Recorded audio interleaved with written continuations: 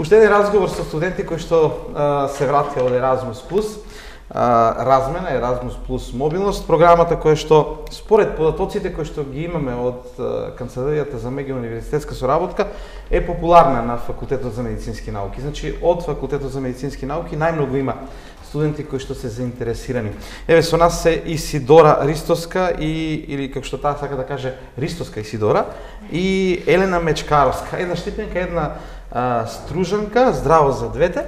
Добар ден. Пред некој ден присуствував на а, презентација на Erasmus Plus програмата која што ја правеше вашиот декан Рубин Гулаовски.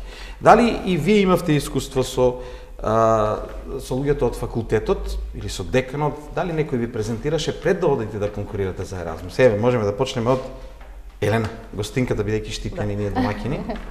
Повеле Елена. А, па искрено немавме ние таква презентација од страна на декан или било кој нели во Erasmus програмата кој што е вклучен. Јас лично разбрав од студенти дека постои таа Erasmus Plus програма и стварно се заинтересирав бидејќи нуди можности кои што не било која програма би ни ги понудила и стварно сакав да да го искусам тоа.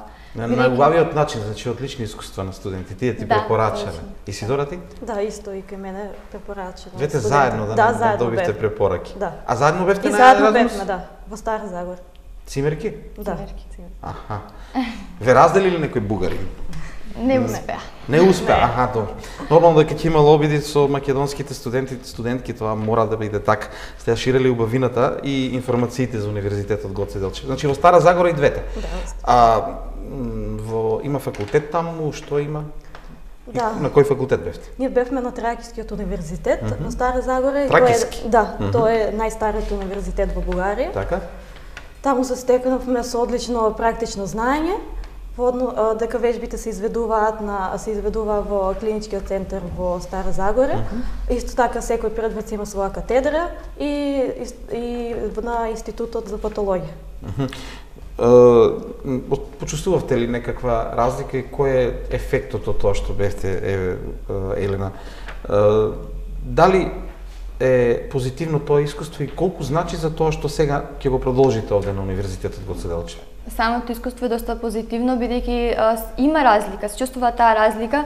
Прво, самиот приемен испит што таму го спроведуваат во Бугарија, бидејќи 80 студенти се примени само на самиот факултет, од кои што 80 студенти се групирани во многу мали групи и тие мали групи се многу подостапни на самите и доктори на во болницата за да се спроведе таа пракса на соодветно ниво бидејќи со 5 студенти, например, само може полесно се спроведе пракса колку со 20 студенти во болница. А, после и бугарскиот јазик го усовршивме. Пред се тамо ние се запишавме на а, настава на бугарски јазик и бевме со студенти кои што се наредат на настава таму. И и доста доста добро искуство во секој случај. Мислам Искуството сигурно е добро. Тоа тоа сум сигурен според тоа што го кажуваш. А, каков кадар има Исидора во поглед на наставниот кадар, кадар Па, говорам, а, колку тие беа отворени за вас студентите од Македонија што сте на Па, размена? имавме чест да учиме од професори со големо животно искуство, со знаење вредно за почит. И ми- тие беа доста отворени за нас, секако дека ни, ни помогна многу во однос на снаоѓањето во новата средина, со нови, новиот јазик. И, Да не сте да не седиш кај неа воопште бидејќи нели цимерки таму цимерки тука. не, од аспект близко на живееме. Така, Да. добро се гледа поврзаноста, тоа е сосем јасно што ми заедно сте отишле. Да. А беше ли тешко пред се бидејќи и овде кога се конкурира треба да одите на интервју за Еразмус. Колку овде беше тешко тоа интервју или пак имате ли стрес, дали е лесно да се помине интервјуто? Па да, во секој случај ста Не е многу на- тешко. Не, не. не е Бидејќи се бари англискиот, а Се вие бари сте- англискиот, да, треба одлично А познавање вие на, на бугарски сте студирале малку Да. полесно, веројатно, па да. да отиде во Па да, Германија. сродни јазици се за македонскиот и Ви нудеа ли можност на кој јазик да слушате наставата, дали на англиски или на бугарски? Па да, Да, имаше можности. Таму имаше и на англиски наставна програма и имаше студенти кои што го слушаат тој настав на, на англиски, нели кои што студира, ама ние сепак се решивме за бугарски. Е сега, е, на општа медицина, да не заборавам, двете која година? четврт. Четврта година. А, на кое ниво се таму? Исто се 6 годишни студии? Да. Да, исто. Вие бевте со четврта година?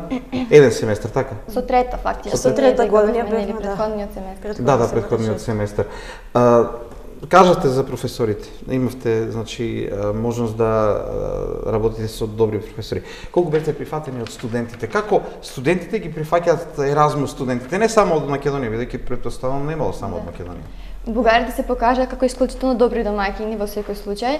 А исто така таму се запознавме со студенти од Македонија кои што студираат во, во Бугарија, во Стара Загора, така да и тоа ни беше голем плюс. Да. Можеме да ги викнеме нашите студенти што, што студираат таму да дојдат на Еразмус во Штип. Да. И тоа па би да, било интересно, да, сигурно. Да, да, да. Не, а, што кажуваат тие?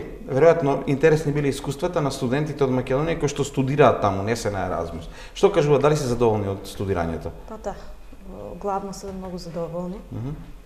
Од каде имаше, од каде имаше студенти на размена, освен од од Штип? Немаше, ние бевме единствени со колешката. Mm -hmm. Па да, ви, сте, ви сте биле звезди таму, веројатно. Па нормално, а, значи, а, сепак, штом сами сте биле, дали сега би препорачале на некој од колешките колегите да отидат токму во Стара Загора? на Еразмус размена? Па, па да, зошто да не. Иако во, во Стара Загора толку Еразмус плюс програмата таму лично не беше многу развиена, mm -hmm и се сочивме со одредени проблеми во однос на предметите. Меѓутоа Еразмус плюс, да, да, Еразмус плюс како искуство и те како треба да се почувствува, бидејќи е стварно големо искуство кое што секој студент не треба да го проба бидејќи сепак да отидеш во друга земја, па таму да се снајдеш и со јазик и со и со пријатели, нели да стекнеш. Значи тоа дека Erasmus плюс размената е од една страна искуство за студирањето, студиска програма да видите како се студира некаде, меѓутоа искуство да бидете сами некаде. Добро, ти си сама во Штип, но и Сидора студира во Штип, веројатно има разлика да. кога ќе бидеш сама Нема мама, Имаше тато, нема. позитивна трема и страв како ќе mm -hmm. се снајдам нови нова средина, ново пријателство, меѓутоа одлично се најдов во врска со тоа. Посрамежлива и Сидора, ама баш затоа неа ќе ја прашам, а, што друго освен учењето видовте таму? Па Забава, студентски живот, Акцентот се ставя на едукацијата, меѓутоа сепак и многу прошетавме, ги посетивме Пловдив и Софија, бевме на семинари, на конгреси. Е, Стефан. Да, кај колегата Стефан. Да. И Значи, се дружевте и со нашите студенти да, што да, се да, таму. Да. Има ли што да се види во Стара Загора? Рековте Стар универзитет. А градот? Името ли му е само Стара или? Па не, сега, Може сега да е многу... А, мислам, не, не сум бидена или предходно, да знам како да? е предходно биден, бидено во Стара Загора, меѓутоа е многу има многу зеленила, многу паркови. Значи уреден град. Многу да, уреден да. град, да чист град. И прашање кој што превоз на ниво. Ќе го заборавев прашањето како се организирани во поглед на практичната настава тие таму. Значи во Пловдив слушнавме од вашиот колега Стефан и во Хеделбрек, значи болници во кои што работат студентите, како е таму? Имаат ли своји лаборатории или имаат болница која да. што се кај што може да се врши пракса. Во склоп на самиот факултет има и нели универзитетска болница mm -hmm. во која што се спроведува таа практична настава по одделенија. Mm -hmm. Меѓутоа и во самиот факултет има соодветни лаборатории за секој предмет, нели во тие пред клинички предмети, како биологија, физиологија, во кои што секој нели сте студенти одат и таму ја изведуваат практичната настава. До пред некоја година знам дека се работело со животни, искрено, mm -hmm. меѓутоа од оваа година се прекинало поради нели тие заштита на права на животните, анима мунди и така натаму да, и така натаму. Да, тоа го имаше во цел свет. Сега, да, кога се вративте овде, Да, имате административни работи кои што сите посекуваме да бидат поефикасни, да се заврши побрзо, да немате нели прекин во некои процедури овде, но колку Ајде, студентите веројатно се интересираат, колегите, ќе прашаат да, како беше. Да. Наставниот кадар, стручниот кадар, професорите, колку тие се интересираат, ве прашуваат ли како сте поминале, што и како?